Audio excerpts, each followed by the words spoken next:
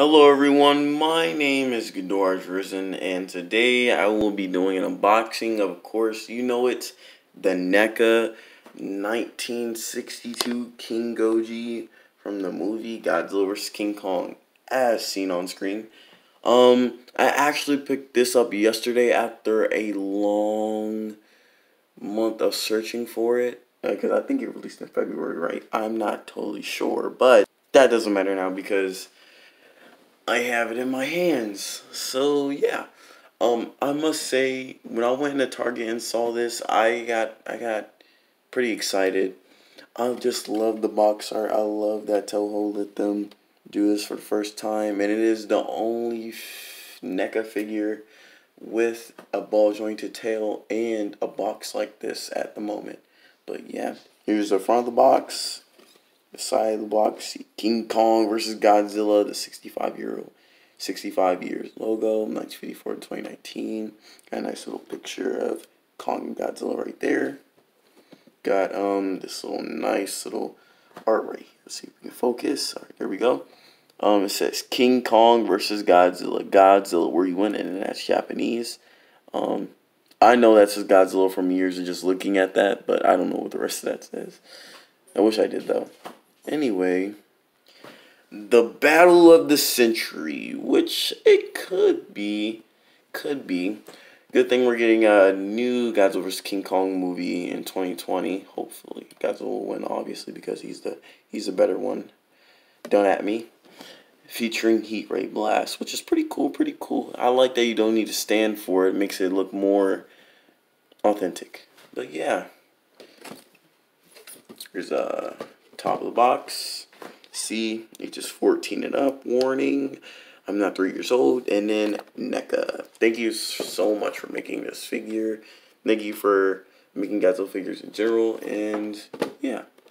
Um, and the also cool thing about this is first Godzilla packaging. Now you can open the flap, I think.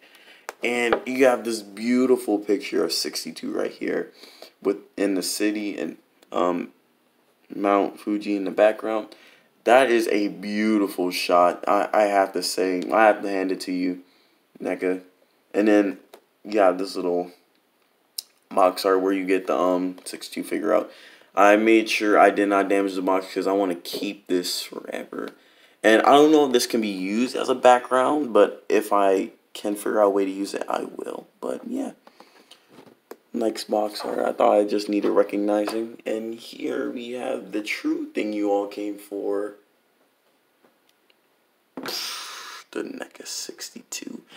I highly recommend this.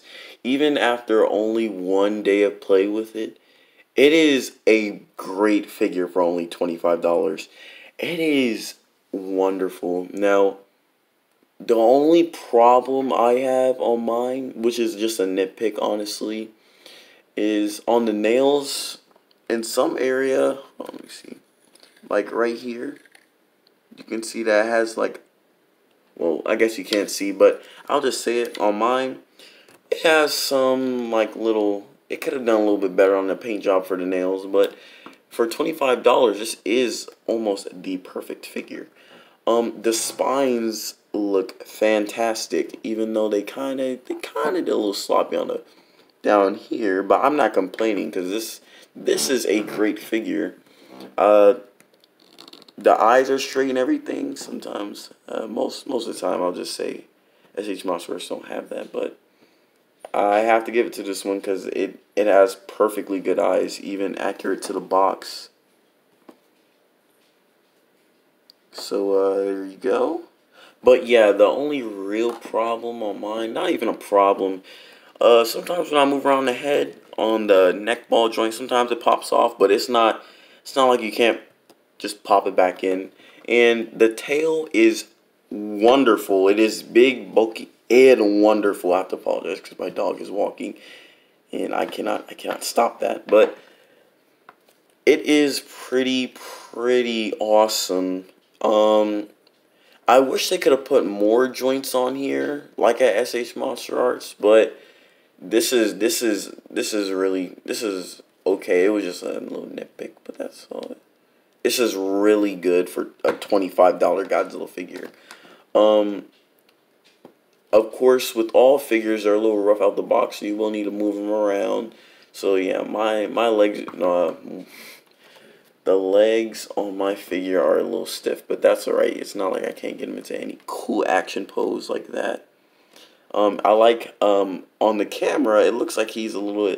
It they painted him in a way that make him look wet, even though when I look at it with real and like me looking at it in real life, uh, or on. I think you guys know what I was trying to say, but it, it just doesn't look that like it came out the water. What is that noise? Oh my. Okay. Uh, but yeah, also the. I want to say not waist joint, but I don't know what to call this joint, but it is a little stiff too on mine, and that that's okay because you just gotta work it when you get out the box. Yeah, also the tail, um, it uh, mine hasn't popped out, but I feel like it might. Um, just don't like you can pop it back in if it does pop out, but don't ex- like don't like don't do all that with it. Just make sure that you're keeping it in a nice pose. Make sure that you're not over roughing the figure, even though it is a NECA and it can take way more than I think SH Monster Arts can. But still, be careful. This is a figure that you probably want to keep forever.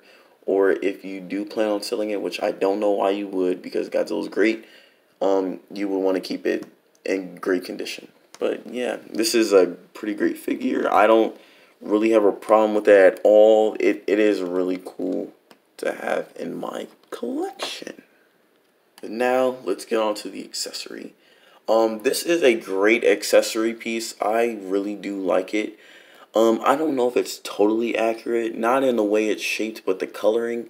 I know it is NECA, and I know it is $25, but I feel like they could have put some blue highlight in here, because I believe in the movie he does have a little blue highlight, or a little bit of blue on his beam, even though this doesn't look bad. This is a great effect piece. Just I think it should have been a, blue instead of just just white.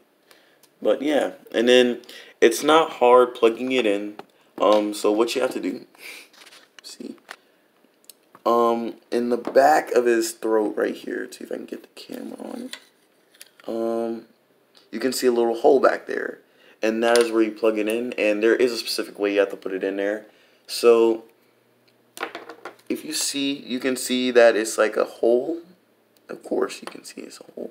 But it's shaped in a way that you have to put it in, you have to put the beam effect in this way. With um, most of the stuff going upward. And then be mindful of his teeth because I haven't heard any reports of people breaking them but I feel like they are delicate, so be careful when you're plugging this in the mouth. And all you have to do is just open the mouth all the way, even though he has a terrible underbite. But that's it. But it's in character, and that's what. That's why I don't.